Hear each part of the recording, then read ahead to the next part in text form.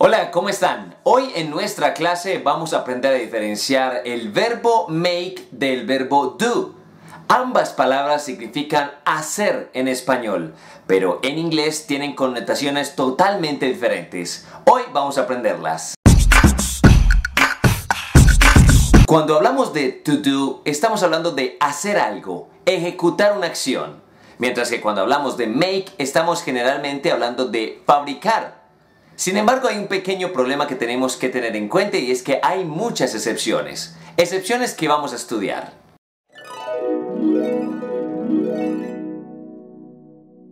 En inglés hay muchas frases que se construyen siempre con to do y otras que siempre se construyen con to make. Muchas de ellas ni siquiera se traducen al español como hacer.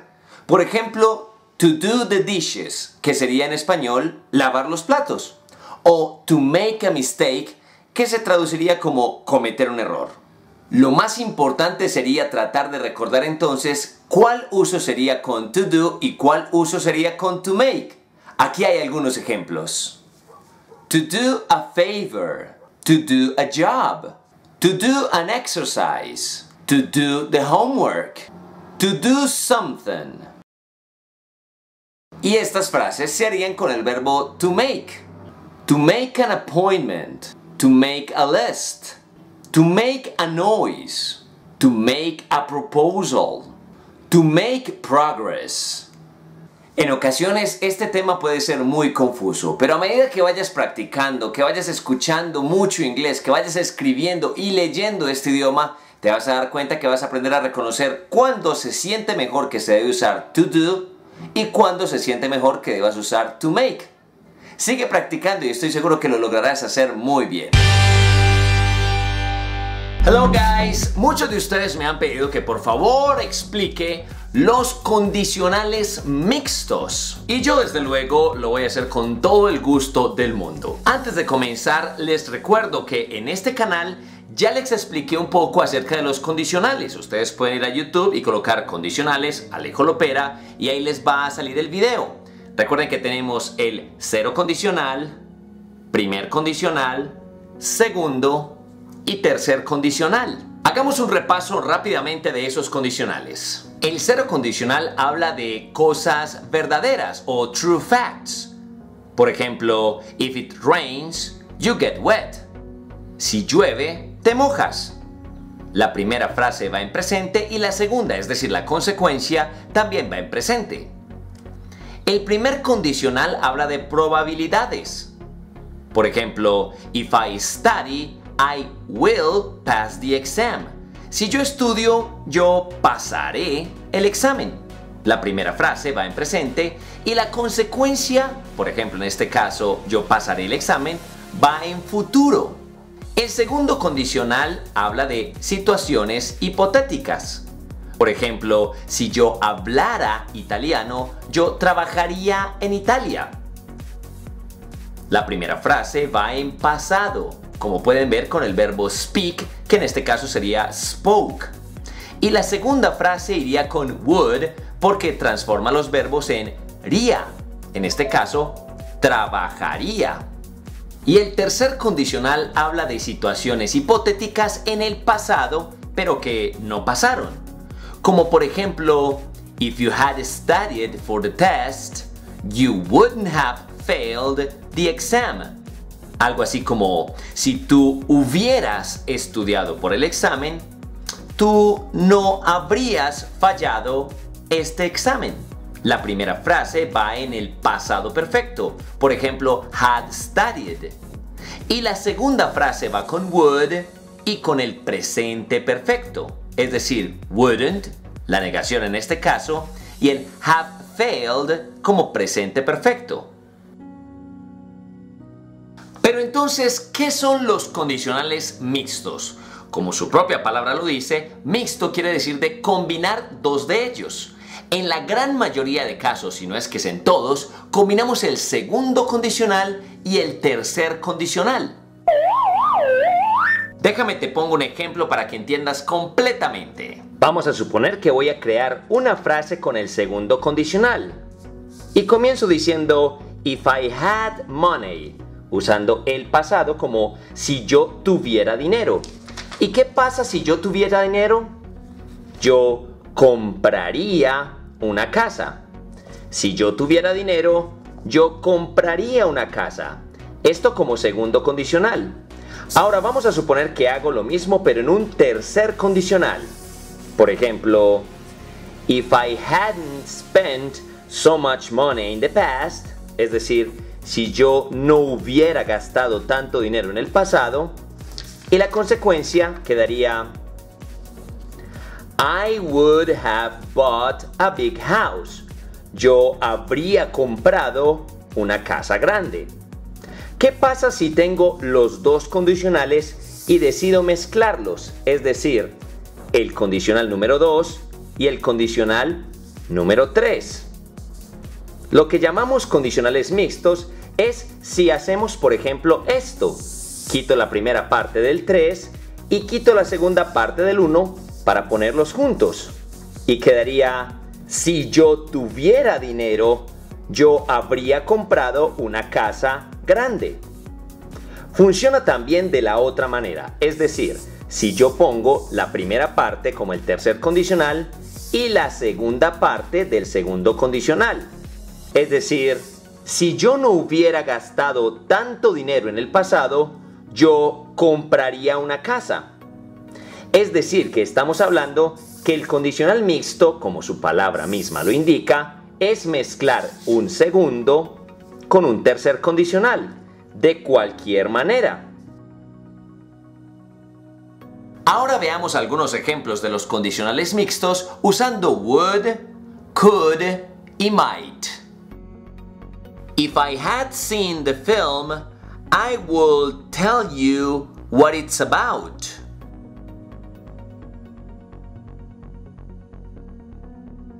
If I had more money, I would have bought you a present.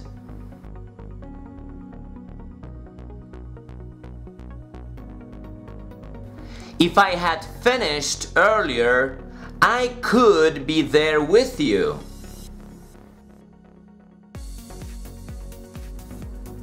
If you knew the truth, you could have told me.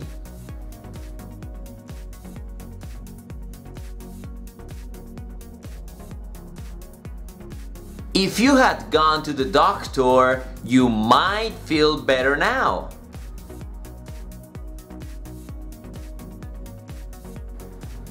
If I weren't so shy, I might have asked her out. Como pueden ver amigos, a veces podemos colocar el segundo condicional primero y la respuesta o consecuencia el tercer condicional después. O también lo podemos combinar, es decir, comenzar como un tercer condicional, pero la consecuencia como un segundo condicional. ¿Ok? Espero que les haya quedado muy claro. Si tienen alguna pregunta, lo pueden dejar en sus comentarios. Hoy en nuestra clase vamos a hablar de reported speech. En ocasiones alguien te dice algo y luego otra persona te pregunta eso que esa otra persona dijo. Y tú generalmente tienes que contarle a esa otra persona. Por ejemplo, Alejo me dijo que quiere enseñar inglés. Eso es un reporter speech. Estoy contando algo que otra persona me dijo. En inglés funciona de manera muy sencilla si tenemos en cuenta las siguientes reglas. Si hablamos en presente simple, vamos a hacer el reporter speech cambiando la frase a pasado simple. Es decir, I cook dinner eso lo dice una persona. Luego otra persona me pregunta, ¿qué dijo ella? Y yo debo contestarle, She said that she cooked dinner. Como puedes ver, la primera frase estaba en presente simple, pero para yo contarle eso a esa tercera persona, ¿qué fue lo que dijo la primera persona? Debo hacerlo en pasado simple.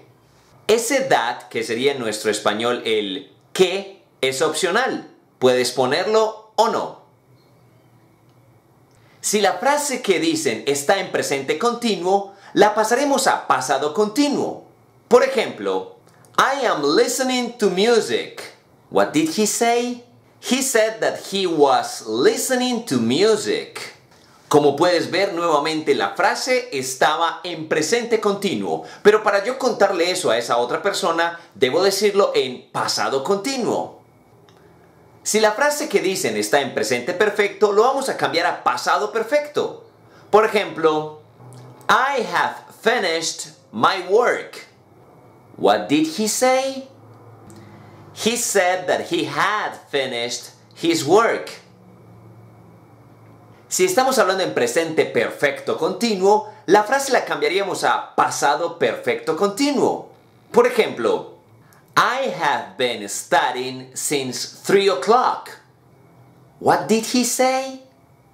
He said that he had been studying since 3 o'clock. Si la frase que dicen está en pasado simple, esta en reported speech pasaría a pasado perfecto.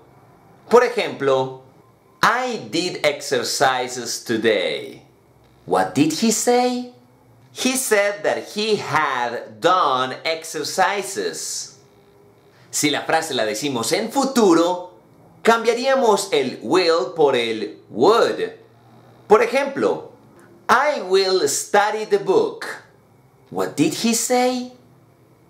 He said that he would study the book. En ocasiones en reported speech, cuando alguien habla en futuro, nosotros lo usamos como el iba. Por ejemplo, yo voy a cocinar. ¿Qué dijo él? Ah, él dijo que iba a cocinar. Ese iba se usa con was going. Por ejemplo, I will travel tomorrow. What did he say? He said that he was going to travel tomorrow. Como pueden ver amigos, es muy fácil hacer el report de speech si seguimos las reglas. Recuerda, si la frase se dice en una estructura gramatical, al decirla en report speech va en otra estructura gramatical. Sigue practicando mucho y no olvides suscribirte. This is Michael J. Cooper. He was born in Ohio in the United States of America. and he has been the director of the Colombo Americano for so many years. Moreover, he's the best person I could find to help me with this mission. This is Mr. Cooper. Thank you very much, Mr. Cooper. You're welcome. Okay, Glad you, to be here. You're from Ohio, right? I'm from Ohio, Okay. Uh, so I'm going to show you a word, and you will tell us how to pronounce it. Okay, As simple as that. This is the first one we have a lot of problems with. There you go. Inevitable. Could you do it again? Inevitable. Okay. Can you can you repeat that? Say it again. Inevitable. In never in Inevitable. In, in Inevitable. inevitable. Ah, very oh, there we go. Okay. Uh, word number two is this one over here. That it, it is very similar to Spanish, but now in on pronunciation. Okay. Okay. It's cemetery. You know that's the problem. We said cementerio with N. I see. There's no N there. There's no N. Cemetery. Cemetery. Okay. Thank you very much. How about this one? How do you say that in Spanish? Confortable. Ah, okay. Confortable. And we say comfortable. Okay. Comfortable. How about if I say comfortable? Comfortable. Okay. There's another A there. Ah, okay. Comfortable. All right. But sometimes they say comfortable. Okay. And, like- and like- it kind of kind of eliminates that A. Or Okay. they say it faster. okay. So would you say it faster again? Comfortable. Oh, okay. Now you know how to say that word. How about this? It's Ah. kind of an animal. So Yes, it is an animal. It's, It's- ardilla in Spanish. And in English we call it a squirrel. oh, you so you do pronounce the the e at the beginning like e squirrel? Ah, no, no, squirrel. oh, okay, okay. Did I say E? Yeah, I think you did. Okay, well that's That- because okay. I've lived in Colombia so long. Okay, so Squirrel. Squirrel. Right. Squirrel. All right. Very difficult for for a. Okay, now this one over here. Um, this is Mis- the word, Mr. Cooper. Uh-huh. Vulnerability. Vulnerability. Vulnerability. Oh, but you pronounce it T. Some people, I mean, some gringos will say vulner- vulnerability, like with R at the end. But so you can kind of divide this in two. Okay. Vulnerability. Vulnerability. Ability. Ah, okay. Vulnerability. Okay. I, I've heard vulner- vulnerability, which is kind of the same thing. Kind of. Okay. There you go. They would understand. Okay, the next word is colega in Spanish, but in English the pronunciation is Colleague. Colleague. So the stress is on the first syllable. Like colleague. Not colleague. No, colleague. Colleague. And it's very different the way it's written. Oh, okay. Colleague. I mean, Colleague. Yeah. All right. I, I can't I can't pronounce this one. No? No, I, I, I just can't. I'm It's just not a, it's not a leg. I'll, I'm just gonna wait for you to, to do it. Legibility. Legi, legi, Legi- legi- legibility. Legibility. There legibility or legibility? Legibility. Both are correct. Legibility. All right, very good. And uh, this one, like us, because we play sports. Athletes. But I put the S on the end, but it's athlete. You put the S. I know I just did because we're athletes. Ah, okay, okay. Okay, but it's athlete. You know, people have a lot of problems with the TH sound. That's why some people say thank you, Yeah, yeah. Thursday, The TH is always, you know that. Okay. TH is with the th- athlete. athlete. All right, okay. How about this one over here? Yeah, I didn't see it. I'm sorry. I was looking at athlete again. okay. Okay, Disadvantage. disadvantage. Disadvantage. And uh, without the D's would be advantage. Advantage. Advantage. Ventaja o desventaja. Uh-huh. All right, okay. And the last one for today, Mr. Cooper, will be this one over here. Equivalent. Equivalent. Equivalent. Uh-huh. Equivalent. Equivalent. So would that uh, be a mistake if I said equivalent? yes, that's Okay, correct. E. Equivalent. Equivalent. Okay. Mr. Cooper, you, you know a little bit Spanish, of course. What's the most difficult word uh, to pronounce in Spanish for you? The double R's. Uh, for example, Because you have to- carrocería. The K? Carrocería. What's that? Carrocería is like, like you know, Oh, the carousel. No. I don't know if this Carroceria.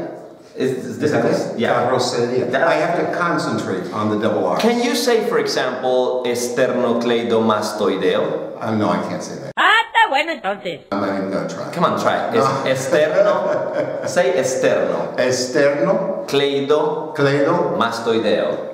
I'm afraid I'm gonna say. Sí. Si ellos tienen problemas en español, nosotros podemos tener problemas en inglés. Mr. Cooper, thank you very much. You're welcome, Alejandro. Thank you for inviting me. Hola, bienvenidos a una edición especial de Master English. Hoy con un programa especial. Debió haber hecho. Vamos a ver una serie de videos y analizaremos qué fue lo que debió haber hecho la persona.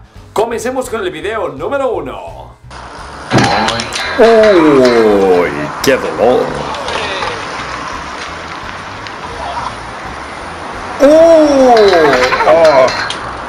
Ellos debieron haber usado protección. Veamos el siguiente video.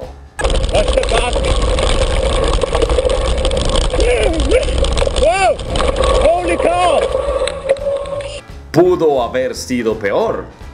Pudo haber chocado contra un elefante.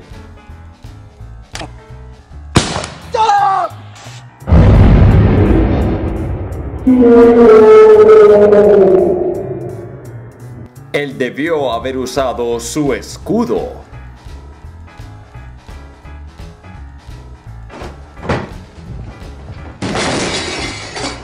Creo que él no debió haber corrido.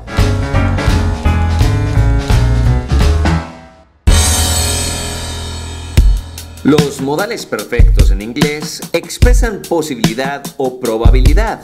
También pueden indicar especulación sobre cosas en el pasado.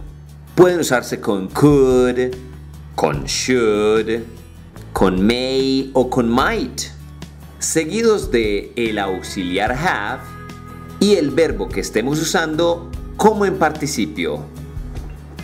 Por ejemplo, The driver must have lost his way. She looks very happy. She may have bought a new house or she might have bought a new house. You could have avoided that accident. He should have had a recipe. The other team was really bad. They should have won the match. También puedes usarlos con would, pero con would ya serían condicionales, algo que ya explicamos en este canal y que lo puedes ver cuando quieras.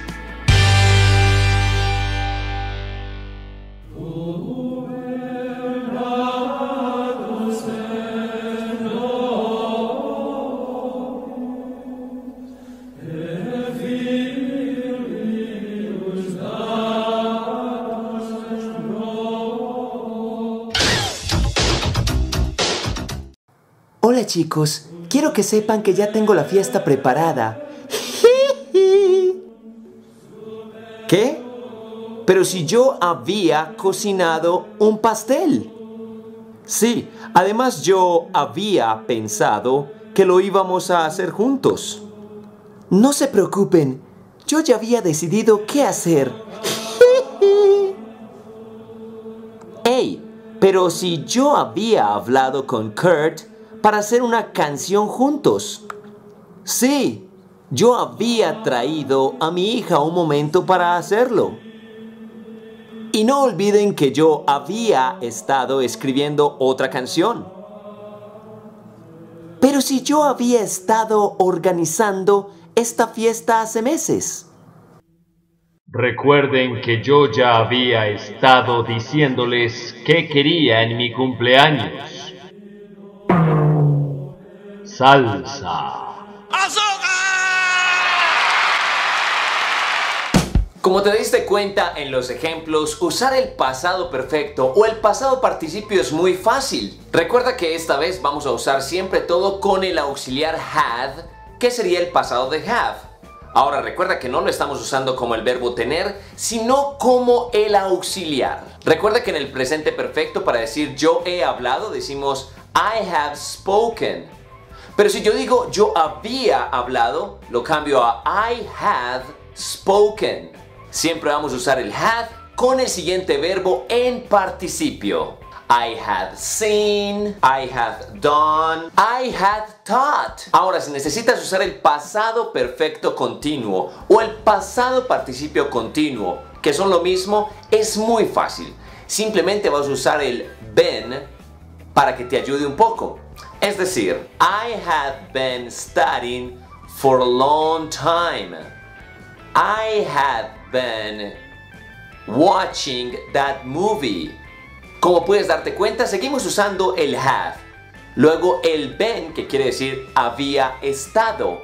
Y luego el siguiente verbo en ing, porque es una terminación ando endo. Había estado comiendo. Había estado leyendo. De esa forma ya sabes conjugar el pasado perfecto y el pasado perfecto continuo. ¿Viste qué sencillo? Nos vemos luego amigos.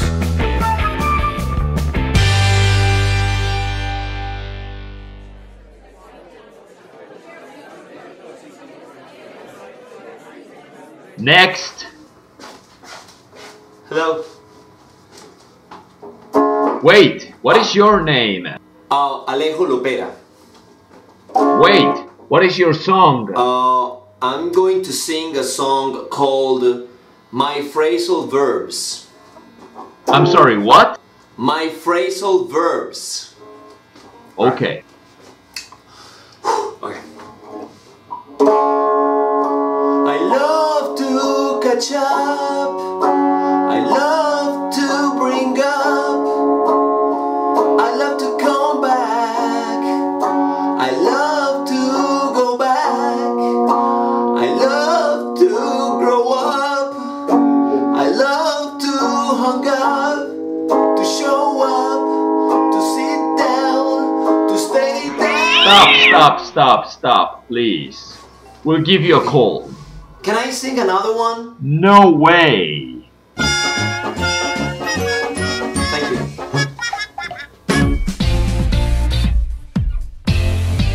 Los phrasal verbs son un verbo formado por dos o a veces tres partes. Un verbo y un adverbio o una preposición. Hay verbos muy sencillos de entender, como por ejemplo sit down. Hay otros que tienen eh, significados más complejos, como por ejemplo put up with. Pero existen miles de ellos, como take off, que significa despegar, hold up, que significa esperar o retrasar. Existen dos tipos principales de phrasal verbs. Los primeros son los intransitivos, que son aquellos que no necesitan un complemento directo, es decir, son autónomos. Por ejemplo, back down, que significa retroceder. Calm down. Y existen los transitivos que sí necesitan un objeto. Por ejemplo, put on. I'll put my jacket on. Let down. Please don't let me down. Look after.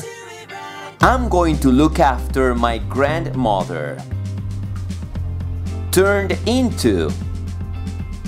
The caterpillar turned into a butterfly. Los transitivos se dividen en dos, separables y no separables. Un ejemplo de no separables sería break down.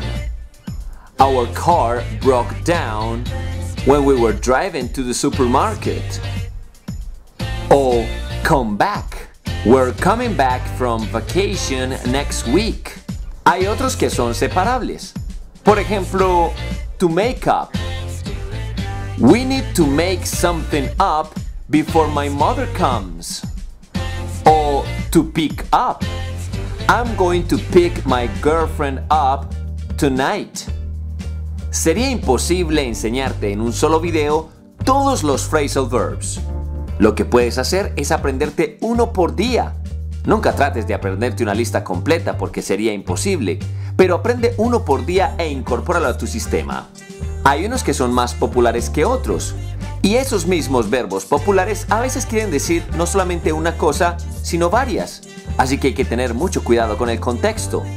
Por ejemplo, to bring up, que sería criar o educar, y también sacar o mencionar. Lo que tienes que tener cuidado es con el contexto. Por ejemplo, I was brought up by my grandmother. I hate my ex-boyfriend. Don't ever bring his name up again. Otro verbo sería to catch up. Por ejemplo, Hey, call me soon. We need to catch up. O You're walking so fast. I will never catch up with you. Como puedes ver, hay muchísimos phrasal verbs que te van a ayudar mucho para hacer tu inglés mejor. Busca su significado en el contexto. Y muy seguramente si comienzas a usarlo, tu inglés va a mejorar muchísimo. Ok, my friends? Time to turn off the computer and try on new verbs. Hey, hey, hello everybody. Thank you very much for clicking on this video and welcome to another English class with Alejo. Tal vez una de las cosas eh, de las que más se quejan los estudiantes en inglés son los phrasal verbs. Obviamente porque los phrasal verbs son verbos compuestos que normalmente no siguen una lógica o tienen una traducción exacta o algo así. Y si a esto le sumamos que hay palabras que mucha gente le dice va de retro, Satanás, porque les tienen algo de terror, como por ejemplo la get. ¿Qué tal si hoy combinamos esos dos terrores? Pero lo hacemos de una forma sencilla, es decir, vamos a combinar get con los phrasal verbs. Hoy precisamente en esta clase te voy a traer algunos phrasal verbs con la palabra get. Comencemos con get across. Este tiene un significado bastante literal, es decir, cruzar, pero también lo podemos usar para decir hacer entender algo. Como por ejemplo, I simply cannot get my message across my teenage daughter. She never listens to me. ¿Qué tal get along? Get along es un phrasal verb para decir que la llevamos bien con algo o con alguien. Como por ejemplo, I never talk to my neighbor, but we get along. Otro phrasal verb con get sería get away, que puede significar muchas cosas, como por ejemplo alejarse. Get away from me. Pero si le agregamos with al final, significa salirse con la suya. Como por ejemplo, she always gets away with her lies. Algo similar le pasa a get back. Get back es regresar. pero si le agregamos at al final, quiere decir vengarse de alguien. Como por ejemplo, I will get back at him soon. La palabra get out también tiene un significado bastante literal. Significa salir, pero si le agrego off al final, significa conseguir algo. Como por ejemplo, My son thinks he'll get money out of me by lying all the time. La palabra get over quiere decir superar algo. Como por ejemplo, I need to get over my girlfriend. Hay otra que es get rid of y que quiere decir desechar algo. Por ejemplo, man, you need to get rid of that card. Phrasal verbs hay muchísimos. Sería casi que imposible aprenderlos todos. Pero si los vamos aprendiendo de poco a poco, vamos reconociendo muchos de ellos, va a ser cada vez más fácil entenderlos. Vamos a comenzar de una vez. Aquí están algunos de los phrasal verbs más usados con la palabra come. Come across. Jane came across a very interesting magazine last week.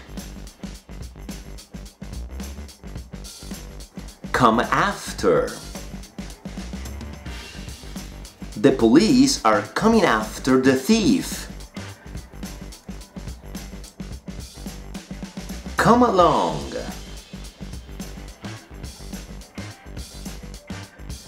Come along with me. I have something to show you. Hay otra versión de come along. How is the patient coming along after the surgery?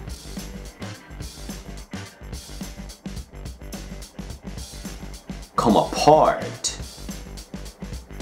When I picked up the small glass statue, it came apart. Come between. I wouldn't let people's gossiping come between us. Come off. The trip came off on schedule.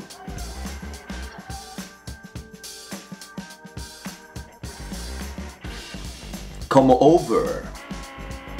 I want you to come over. I will show you my new kitchen.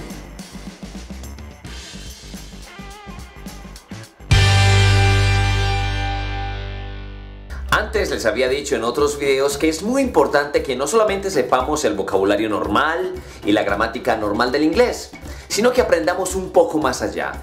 Por ejemplo, los verbos compuestos o phrasal verbs y también los idioms. Recordemos que los idioms son aquellas expresiones que no necesariamente literalmente traducen igual, sino que significan alguna otra cosa. Es muy común encontrarnos con estos idioms cuando hablamos o escuchamos inglés. Hoy te voy a enseñar 5 que te van a ayudar mucho. Blind as a bat. Es decir, alguien que no ve bien o no ve algo que es totalmente obvio. Por ejemplo, I left my glasses at home. Today I'll be blind as a bat. Dressed to kill. Es decir, vestirse muy muy bien para cierto momento o cierta ocasión. Por ejemplo, puedes usarlo cuando dices, I have an important meeting tomorrow. I must be dressed to kill. A fish out of water. Significa no sentirse cómodo en un lugar o en un nuevo ambiente. Por ejemplo, when Jim was transferred to a new school, he felt like a fish out of water because he didn't know anyone there. He who laughs last laughs the longest. Este es muy común incluso en español y quiere decir quien ríe de último ríe mejor. Por ejemplo, he asked to marry her for many years. At the end, she accepted. I guess who laughs last laughs the longest. Let your hair down. significa soltarse o relajarse un poco, es decir, dejar de estar tan serio o tan seria. Por ejemplo, Come on Alejo, this is a party. Let your hair down and go a little wild. Fácil, ¿verdad? Recuerda que cada vez que uses un idiom en contexto correctamente en tu lenguaje, en tu conversación, estás ganando muchísimo porque estás hablando realmente como si fueses un nativo. Recuerda que hay muchísimos, simplemente debes buscar bastante los que más te interesen o los que se acerquen a tu modo de vida. En la clase de hoy vamos a conocer 5 idioms que podemos usar en ciertas situaciones. Bag of bones significa estar muy delgado o muy flaco. Por ejemplo, I have to go to the gym. I am a bag of bones and I want to look good. To let the cat out of the bag. Este idioma quiere decir que estás revelando un secreto tal vez por error. Por ejemplo, she let a cat out of the bag when she told everyone that she was pregnant. One eye on. ¿Qué significa prestar especial atención a algo o a alguien? Como cuando decimos en español, echarle un ojo. Por ejemplo, I have to have one eye on you all the time, or you will get into trouble. On the horns of a dilemma, lo cual significa tener que decidir entre dos cosas. Por ejemplo, I'm on the horns of a dilemma. If I sell the house now, I have no place to live. But if I wait, I might not get as good a price. Hit the rocks, que significa tener un problema o un mal momento en una relación. Por ejemplo, We were very close, but since she got a boyfriend, our friendship has hit the rocks lately. Hoy en nuestra clase vamos a continuar hablando de idioms. Against the clock significa a toda prisa. Por ejemplo, we are working against the clock to finish the project. Algo así como estamos trabajando a toda prisa para terminar este proyecto. Any port in a storm. Esto significa que a buen hambre no hay pan duro. En otros países se dice, por ejemplo, a caballo regalado no se le mira el colmillo. Por ejemplo, It's very cold outside and I only have this horrible jacket. But I guess I have no option since any port in a storm. Algo así como hace mucho frío afuera y solo tengo esta horrible chaqueta. Pero supongo que no tengo opción porque, pues a buen hambre, no hay pan duro. Blood is thicker than water. Eso significa que la relación familiar es más importante. En algunos países se usa este idioma en español como la sangre tira. Por ejemplo, I had a party, but I heard my father was sick, so I went home because blood is thicker than water. Eso quiere decir que tenía una fiesta, pero escuché que mi papá estaba enfermo, así que decidí irme a casa porque la sangre tira. Cut to the chase. Significa dejar a un lado los detalles innecesarios para ir a lo importante. Por ejemplo, My boss was joking at the meeting until I said, Come on, boss, let's cut to the chase. We have a lot to do. Es decir, mi jefe estaba bromeando en la reunión hasta que dije, vamos jefe, vamos al grano, tenemos mucho que hacer. A dry run, que significa un ensayo o un entrenamiento. Por ejemplo, I agreed on doing the commercial, but I wanted to do a dry run first to remember the lines. Algo así como yo accedí a hacer el comercial, pero quería hacer un ensayo primero para recordar las líneas. Ahí tienen amigos, otros 5 idiomas para que los incorporen en su idioma. En inglés hay dos formas de hacer preguntas, la forma directa y la forma indirecta. La forma directa es muy sencilla. Por ejemplo, ¿Does he like swimming? ¿Do you like cooking? También podemos hacer preguntas directas con los WH question. Por ejemplo, Why do you dress like that? Where are my keys? What's your name?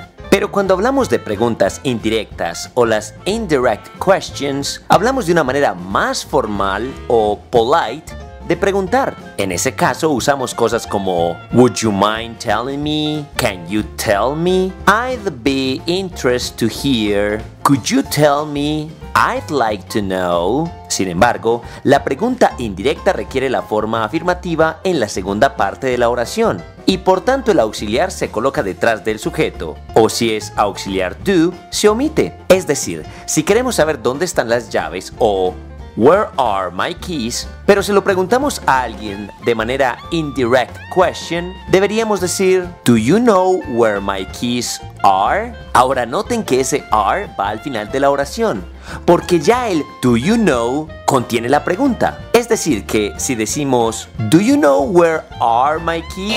estaría totalmente incorrecto, porque hay doble pregunta. Do you know y where are? O sea que recuerda que la frase quedaría entonces Do you know where my keys Te voy a dar otro ejemplo. La pregunta directa es Why do you dress like that? Si la queremos pasar a pregunta indirecta o indirect question, quedaría entonces Can you tell me why you dress like that? Noten que ya no pongo el do en la oración. ¿Por qué? Pues porque si lo pongo tendríamos doble pregunta. Otro ejemplo, la forma directa sería Where can I find a bank? Es directa, ¿verdad? Porque tenemos el can y el I a manera de pregunta. Where can I find a bank? La pregunta indirecta sería Could you tell me where I can find a bank? Recuerda, si yo dijera Could you tell me where can I find a bank? Sería un error, porque tendríamos doble pregunta. El could you tell me y el where can I? Y eso es incorrecto. O sea que si usamos la manera formal con una indirect question, debo eliminar la pregunta de la segunda parte y convertirla en afirmación. Could you tell me where I can find a bank? Aquí está otro ejemplo. What is she doing? De la forma indirecta sería Can you tell me what she is doing? ¿Viste cómo la segunda frase what she's doing ya no es pregunta sino afirmación? Es porque la pregunta ya viene en el Can you tell me? Te voy a poner otro ejemplo. How much is the shirt? Esa sería la forma directa. La forma indirecta, Do you know how much the shirt is? Ahora es tu turno de practicar. Te voy a poner una pregunta en forma directa y tú la transformas a indirecta. Ahora la pregunta directa sería Where is the post office? Comienza la pregunta con Can you tell me?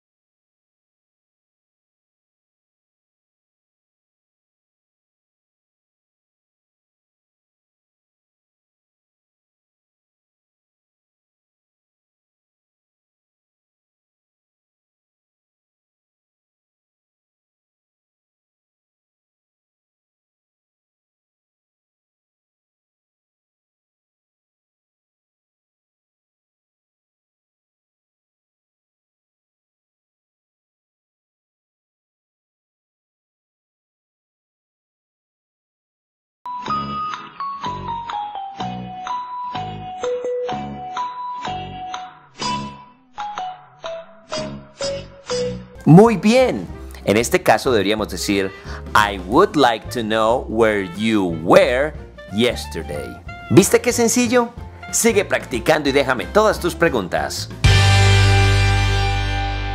Hello guys, welcome to another English class with Alejo. Hoy les traigo un tema que me han pedido en muchas ocasiones. Es un tema que, tengo que ser sincero, no es sencillo, pero eso no quiere decir que sea difícil. Es solo que es algo que nosotros, los latinos, no estamos acostumbrados. Pero te lo voy a explicar. La clase de hoy es sobre causative verbs. Las oraciones con causative verbs son oraciones que afectan a una persona o a un objeto y que es, está siendo o será realizada por una tercera persona. What? Sí, yo sé que ahí es un poco complejo, pero te voy a poner un ejemplo para que nos quede un poco más claros. My car gets too dirty. I have it washed twice per week. Como puedes ver, estoy hablando de mi vehículo, de mi carro. Pero yo no lavo mi vehículo. Lo lava una tercera persona dos veces por semana. Déjame te pongo otro ejemplo. John had his hair cut last week. En ese ejemplo estamos hablando de que John hizo que alguien le cortara el cabello. Es decir, no lo hizo él, sino que una tercera persona lo hizo. Ahora, ¿por qué es tan difícil esta estructura? Porque si traduces literalmente, palabra por palabra, al español, no nos va a dar nunca. Es una de esas tantas cosas que en español no tiene traducción, sino que tenemos que interiorizarla en su idioma inglés. Pero entonces, ¿qué hacemos para poder memorizarla y trabajar con ella? Lo más importante es entender su estructura. Por ejemplo, te voy a hablar de tres verbos que son los más comunes para hablar de causative verbs. Esos tres verbos son make, have y get. Comencemos con make. Cuando empezamos con make estamos sugiriendo que una persona está haciendo que una tercera haga algo por él o por ella. La estructura es muy sencilla. Sujeto más make o made, dependiendo de lo que estemos hablando, la persona u objeto y el verbo en presente. Por ejemplo, the teacher made the students stay after class. The boss made the workers do their best effort. I made the telephone work. Jim made the guitar sound great. Es importante que sepas que en este caso la regla de la tercera persona, es decir, esa S, no aplica. El siguiente es have. Y cuando hablamos del el causative verb como have, estamos hablando de que el sujeto hace que la tercera persona haga algo para él. También se puede entender como darle la responsabilidad para que alguien haga algo para mí.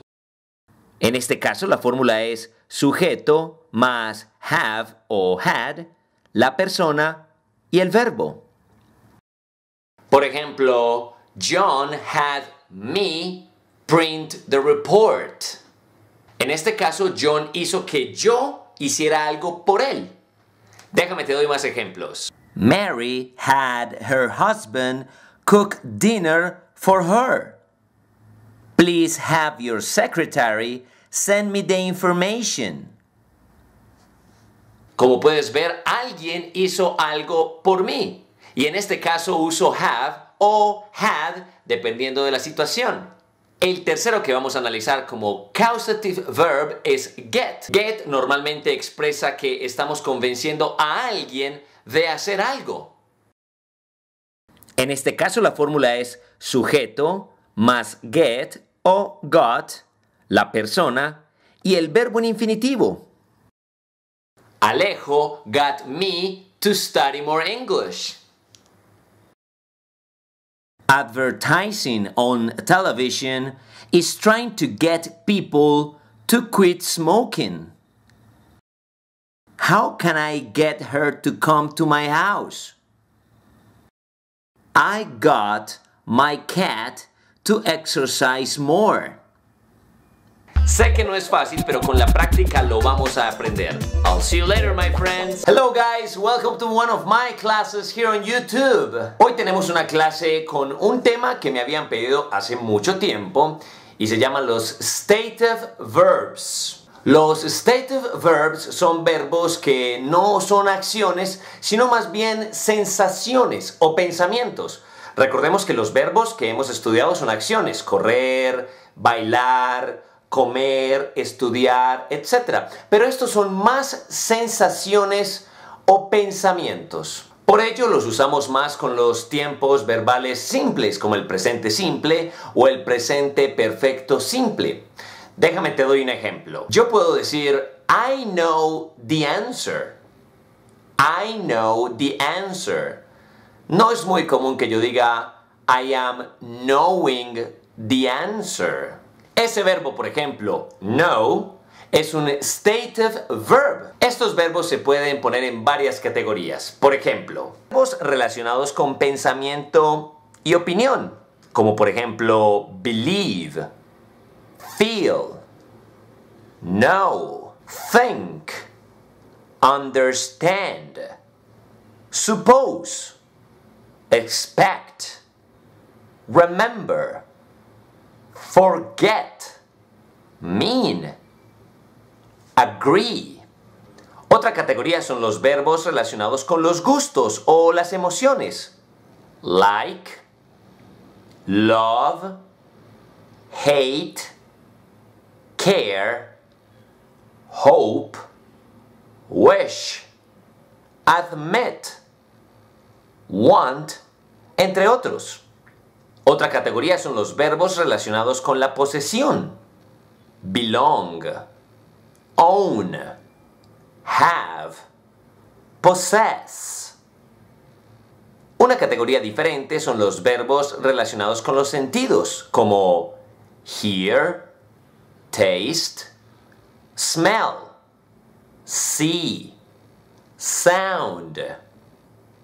Hay otros verbos que podemos poner en una categoría separada, como contain, deserve, matter, measure, need, recognize, promise, consist.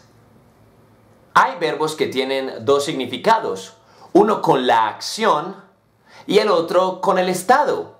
Uno de esos ejemplos puede ser think. I think he is friendly. I am thinking about going shopping. Otro ejemplo es feel. I feel you should come. I am feeling cold. ¿Ves? Uno de ellos es el stative verb, es decir, una no acción, sino más bien un pensamiento, mientras que el otro sí es una acción, pero todo depende del contexto. Déjame te doy más ejemplos. They have a nice car. He's having a shower at this time. ¿Viste? Es muy sencillo. Como puedes ver, hay algunos verbos que no son una acción física, sino que son más bien pensamientos o deseos. ¿Ok? Pero debes aprender a diferenciarlos porque como viste en estos últimos ejemplos, algunos cumplen esa doble función. ¿Te quedó claro? Hola amigos, bienvenidos. Hoy vamos a hablar de tag questions. Los tag questions son preguntas que se hacen a partir de otra pregunta para resaltar la información. Como cuando en español decimos, tú vas a ir a la fiesta, ¿verdad? Ese verdad sería en inglés el tag question. O por ejemplo cuando decimos, ella es muy bonita, ¿cierto? Ese cierto sería para reafirmar la pregunta anterior. Hay varias normas que tenemos que seguir cuando queremos usar tag questions y hoy vamos a aprender algunas de ellas.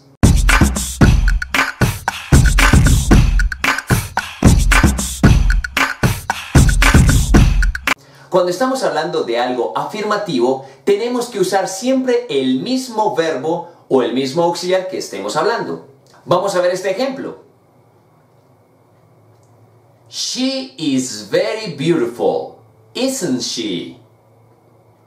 She is very beautiful, isn't she? Como puedes ver, el tag question que pusimos al final sirve para resaltar la información que vimos en la primera afirmación. Ella es muy hermosa, ¿verdad? Pero nota que lo tenemos que decir en negativo. Ahora, ¿qué pasa si la oración está en negativo? Como por ejemplo, She is not going to the party. Is she?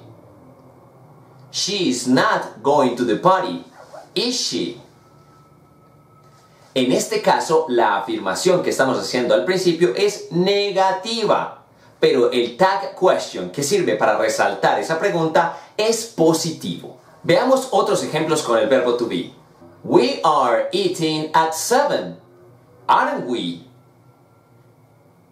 We are eating at 7, aren't we? They are not working today, are they? They are not working today, are they? Recuerda que al momento de traducir esas frases no debes hacerlo literal, porque no tendría ningún sentido. Debes recordar que en español ese tag question sería ¿verdad? ¿No es cierto? Entre otras de las tantas que usamos en nuestro idioma español. Pero ¿qué pasa si no tenemos el verbo to be? ¿Qué pasa si tal vez lo usamos con otro tipo de auxiliar?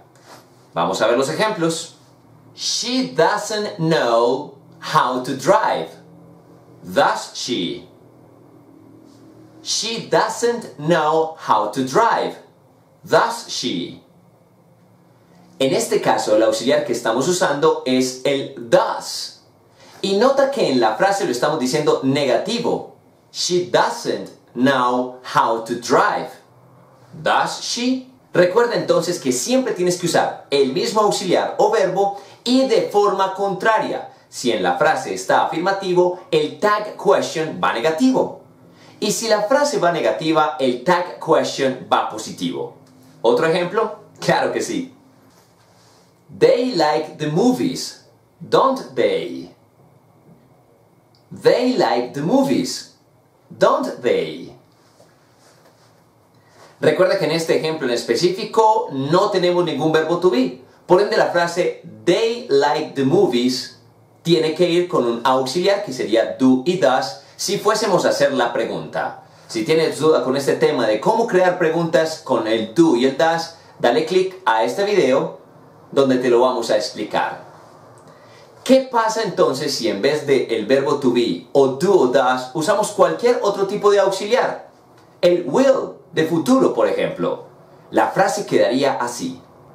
They will come tomorrow. One day. They will come tomorrow. One day.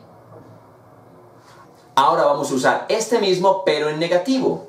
Quedaría así. You will not go. Will you? You will not go.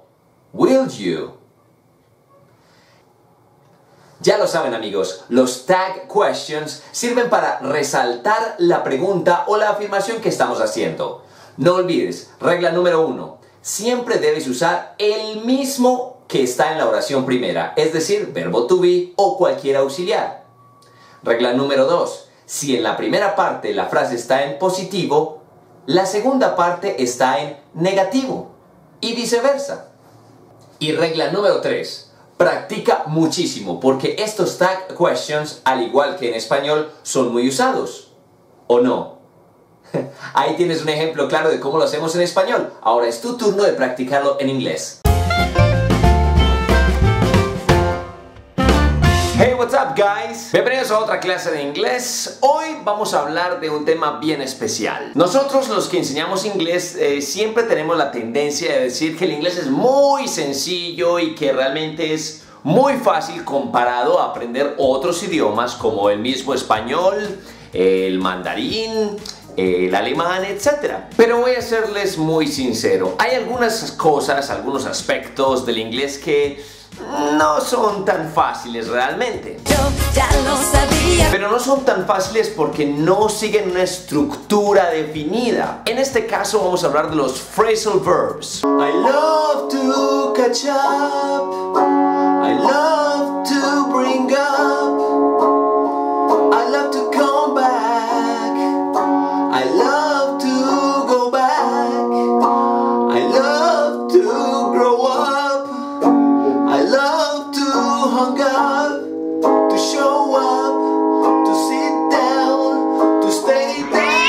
Stop, stop, stop, please. Ya sé que para muchos de nosotros los phrasal verbs pueden ser un dolor de cabeza.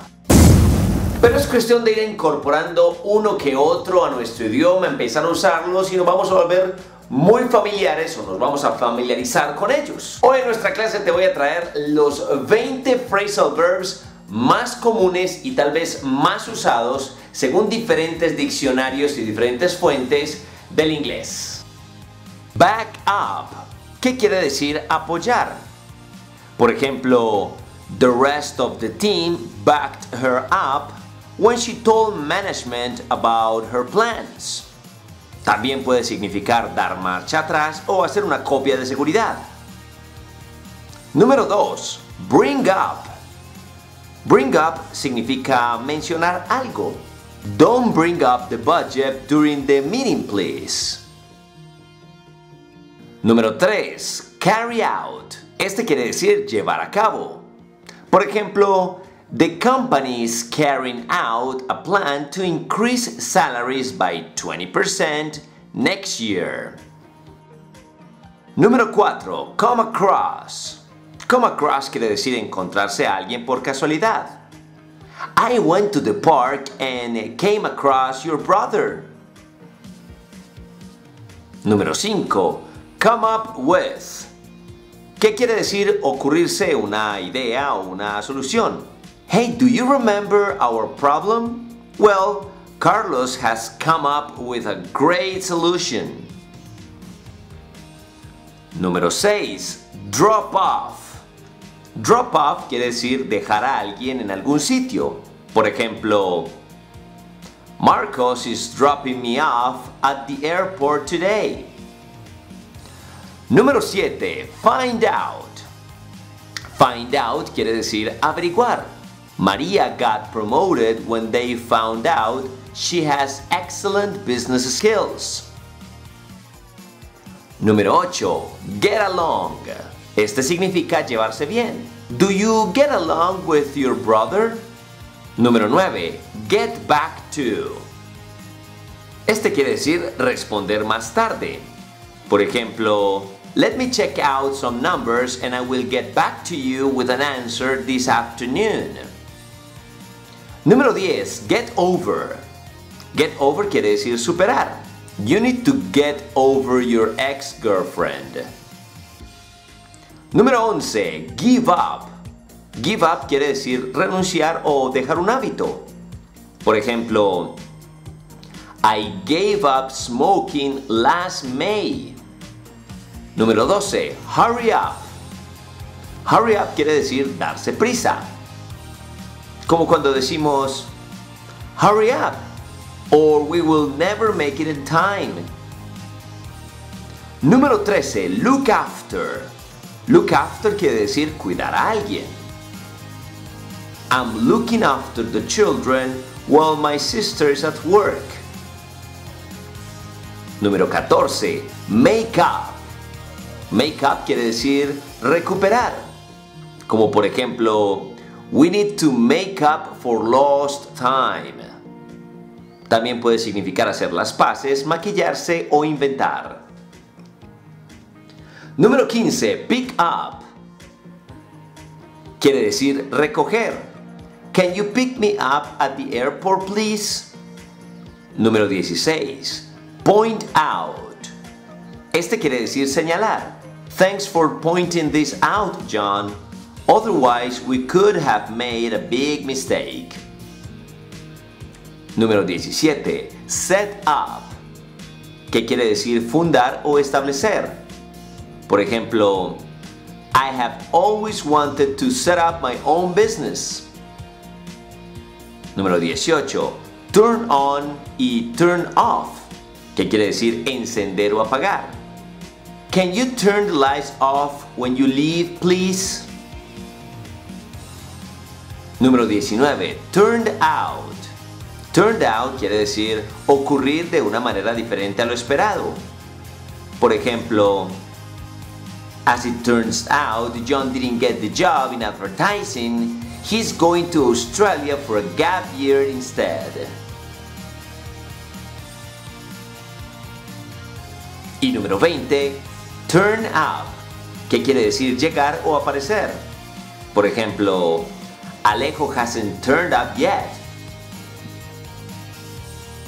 Ahora te recomiendo que tomes esta lista de verbos que te acabo de dar de phrasal verbs y los acomodes a tu contexto. Es decir, trata de usarlos con tu propia vida, con tus propios amigos, con tus propios ejemplos y es la mejor manera de que se te vaya grabando más fácilmente.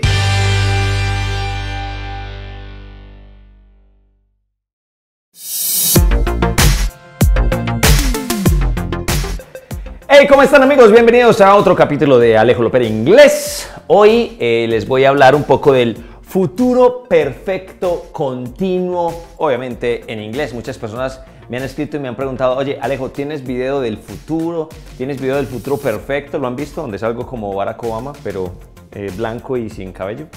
Pero no tienes un video de el futuro perfecto continuo y de eso les voy a hablar el día de hoy. Antes de explicarles esta fórmula, yo no soy mucho de fórmulas, pero esta vez me pareció que valía la pena.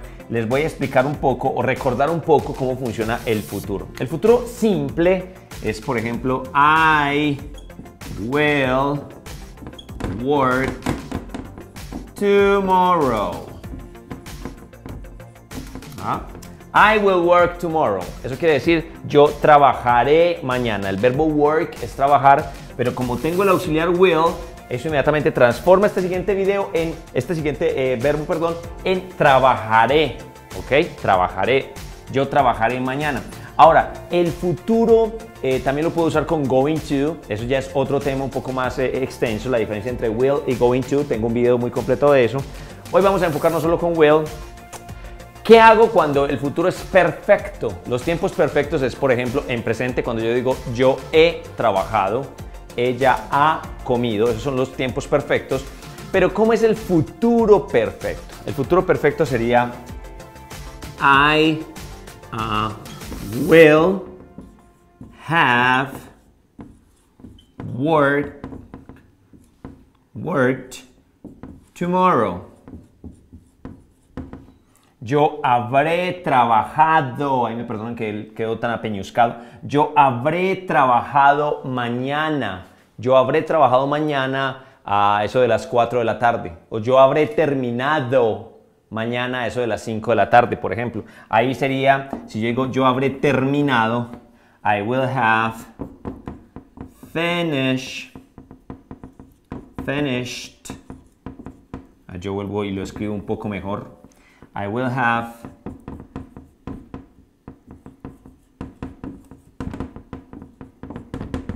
at 4. I will have finished at 4. Tengo que usar obviamente el have y el verbo en infinitivo. I will have finished at 4. Yo habré terminado a las 4. Ese es el futuro perfecto. Yo habré terminado eh, a las 4, ¿verdad? Pero ¿qué pasa cuando hablamos de el presente perfecto continuo? En este caso lo que estamos haciendo es eh, hablando de un futuro que es en tiempos verbales perfectos, pero que va a pasar por un tiempo prolongado, como todos los tiempos verbales continuos que ya hemos estudiado, el presente continuo, el pasado continuo, etcétera, etcétera. Para entenderlo hay una pequeña formulita muy sencilla que es esta. El sujeto, acompañado obviamente de will, luego el have been, que es el he sido o he estado, y el siguiente verbo que termina debe ser obviamente en ing.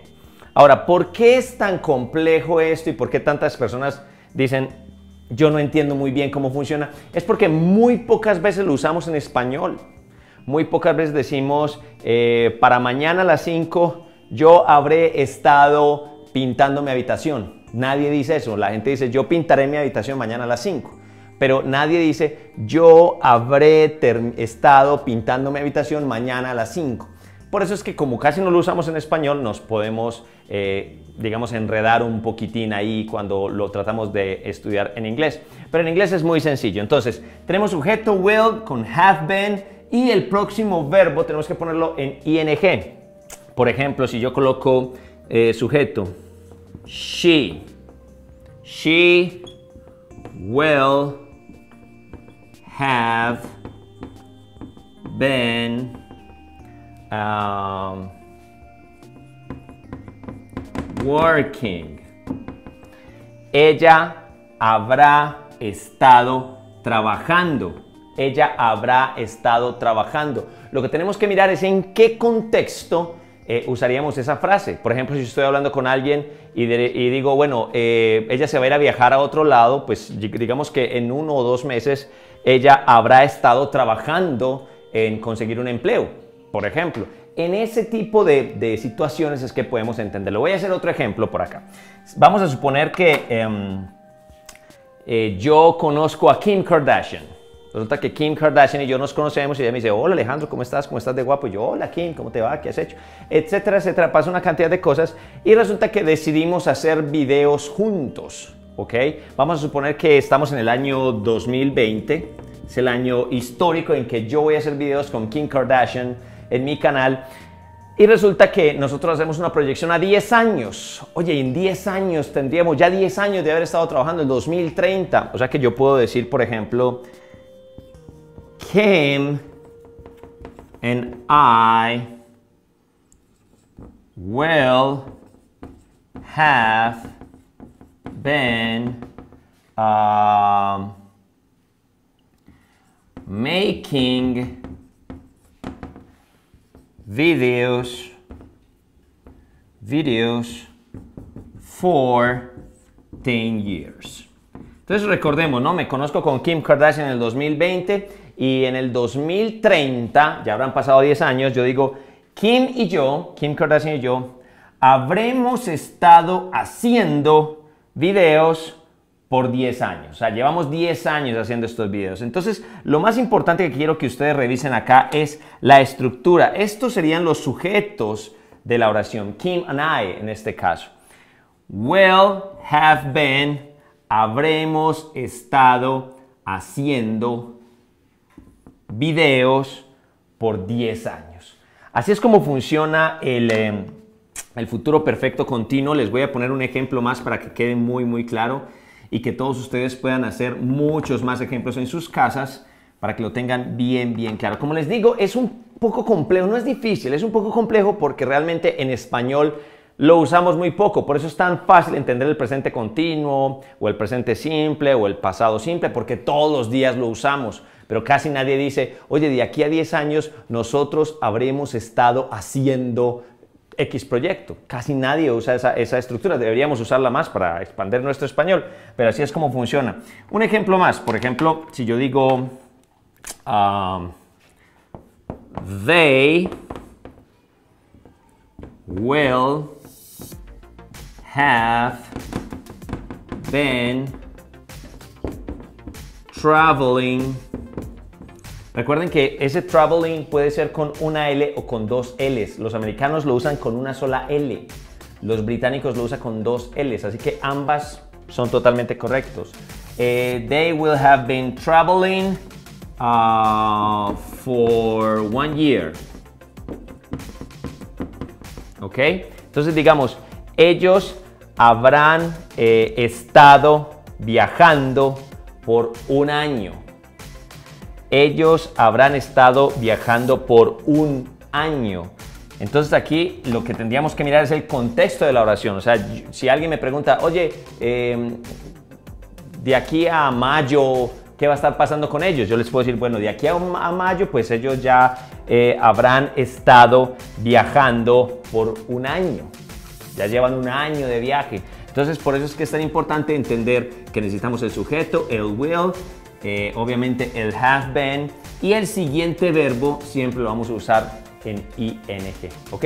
En la descripción les voy a dejar algunos otros eh, ejemplos para que los puedan ahí chequear mucho más. Recuerden suscribirse y si tienen alguna pregunta con respecto a este tema, pues me lo dejan en los comentarios, ¿ok? I'll see you later, my friends. Hey, what's up everybody? Thank you very much for being in one of my classes. Today we are going to do a listening exercise and in this case we are going to do the B2 level exercise. So this is what we're gonna do. I'm gonna play an audio about how false information spreads um, there's gonna be a conversation between a man and a woman and she is gonna tell the audience that means us about how false information spreads on internet all right so I want you to have a piece of paper and a pen so you can listen and write your answers. Maybe take notes about things that you find interesting or necessarily for the answers and that'll be it. So pay attention to the audio but before we start I want to make sure that you know some words that are going to be played in the audio the first word that they are going to mention, and I want you to know, is this aardvark. An aardvark is an African mammal with a long nose that eats ants. Measles is an infectious disease which covers the body in small red spots.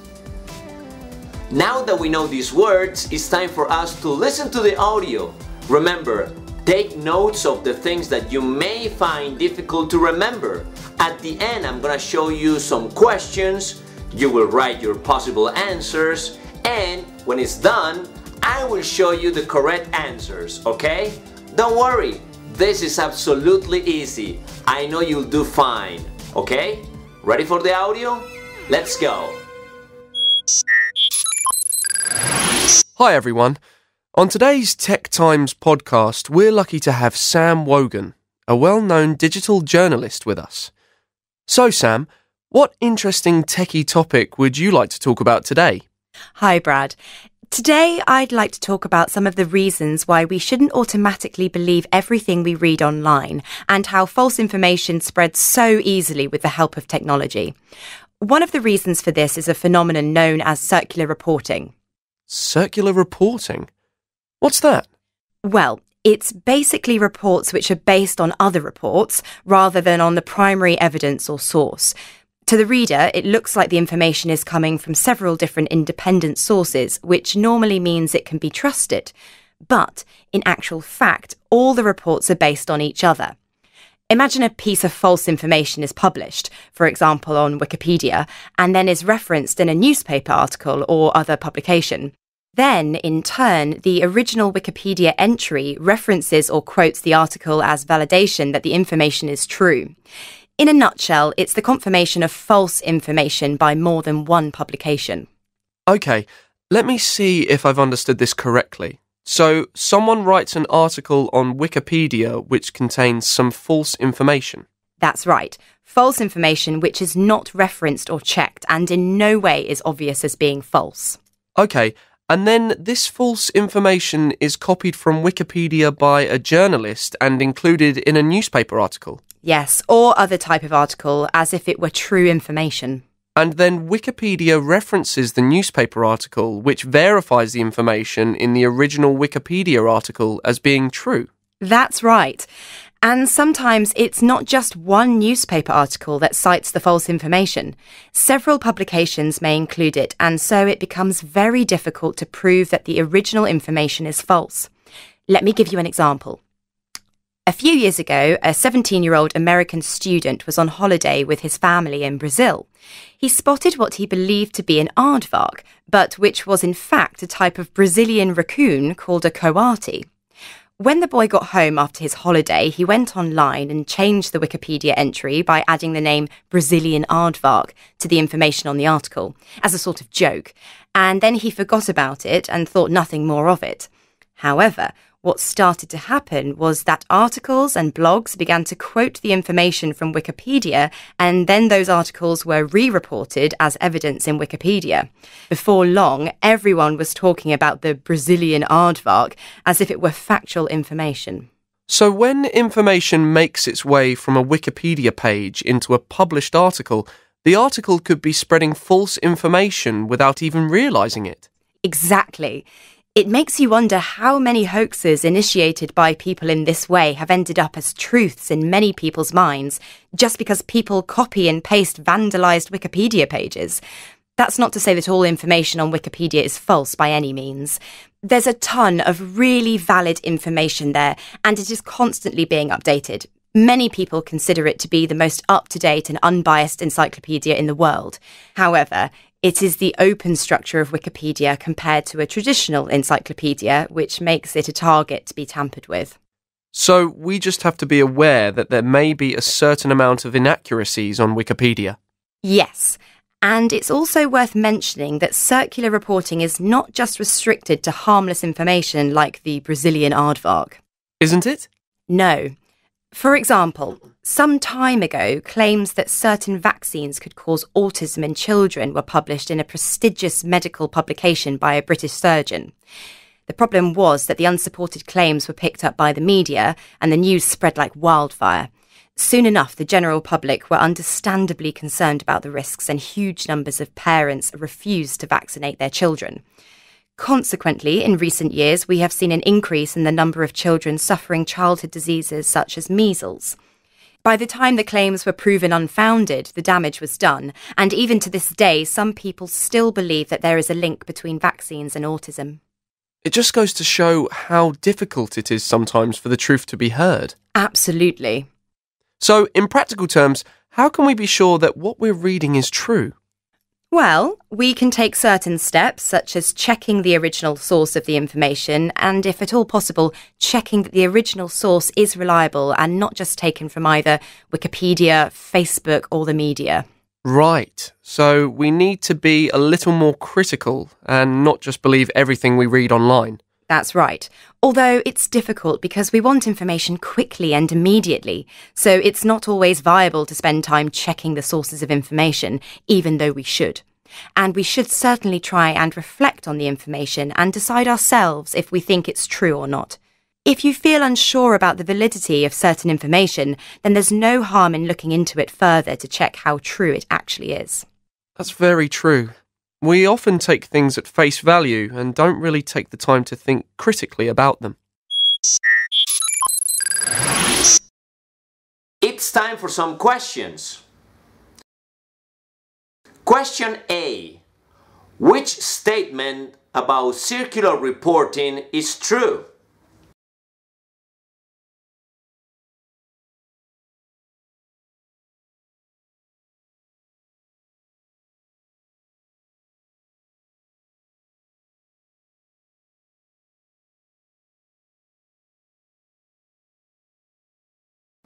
B. Which statement is correct about journalists?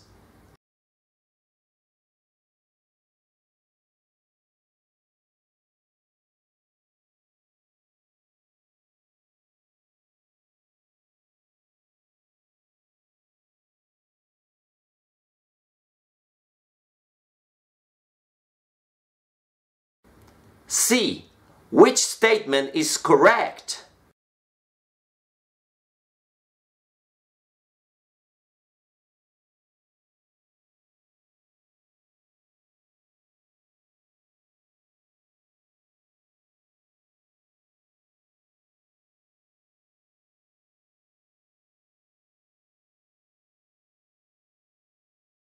The. Which statement is true about Wikipedia?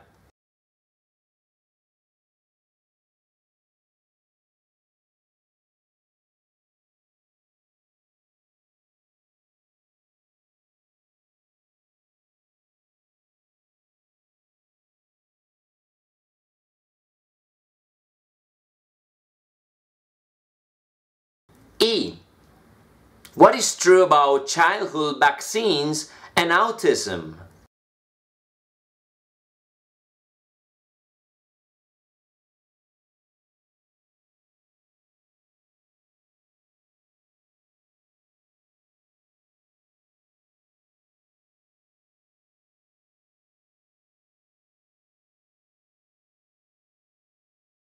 And finally, F. Which statement is correct?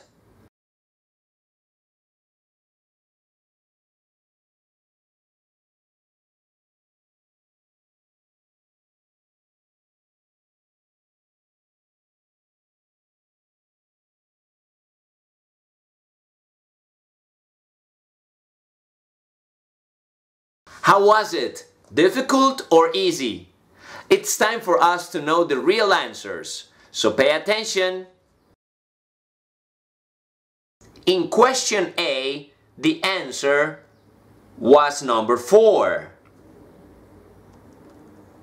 In question B, the answer was also number 4. In question C, the answer was number 3. In question D, the answer was number 1. In question E, the answer was number 2. And in question F, the answer was number 4. How did you do? Remember, this is an exercise of the B2 level. So if you did very, very good, maybe this is your level or maybe C1 or C2. If you didn't do so good, maybe you still have to work a little bit longer to get to this level. Alright guys, I hope you liked this class. Remember to subscribe and share this video with your classmates. I'll see you later my friends.